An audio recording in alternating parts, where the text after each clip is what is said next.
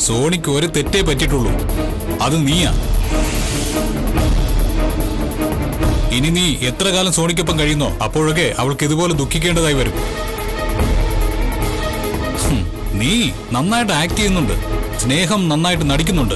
എന്നാൽ നിന്റെ ഉള്ളിൽ സോണിയുടെ സമ്പത്ത് മാത്രമേ ഉള്ളൂ.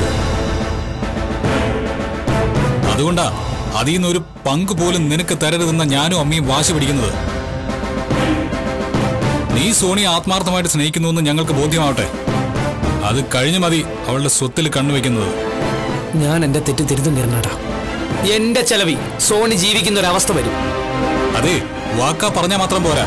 വാശിയോടെ പറഞ്ഞ കാര്യം നടത്തി കാണിക്കാൻ ശ്രമിക്കണം. പോയി സോണിയുടെ മുമ്പിൽ ഇരിക്കടാ. ചെല്ലേ.